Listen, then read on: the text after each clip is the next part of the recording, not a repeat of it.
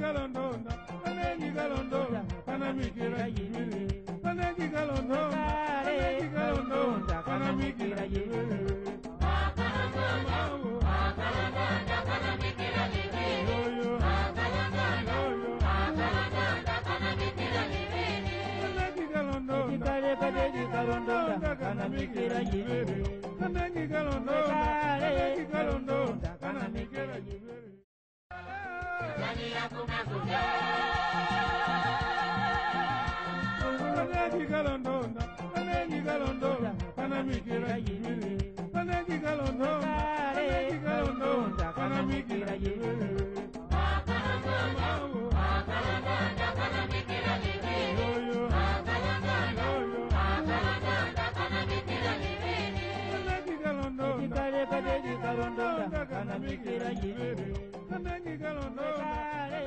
The village of Mlimani Park asked us to help them build a school because their little kids didn't have one to go to, especially in the rainy season when the river became very large and washed out the road. So with support from home, the Lindsay Kimmett Memorial Foundation and the Rotary Club of Cochrane, we were able to build our first kindergarten classroom in the village of Mlimani Park.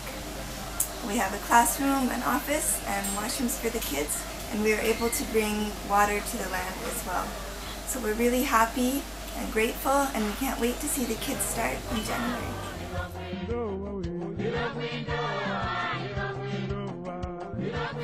wonderful thing about being able to bring the water to the school is that we had to move the water for about a kilometer and a half from our water source, which in turn will provide access to water for the community along the way and the people living there.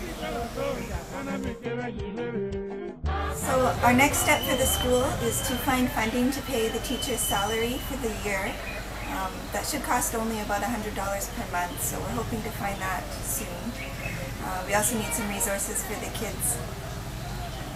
The next step after that would be to build another classroom and provide some programming for arts and sports at our school.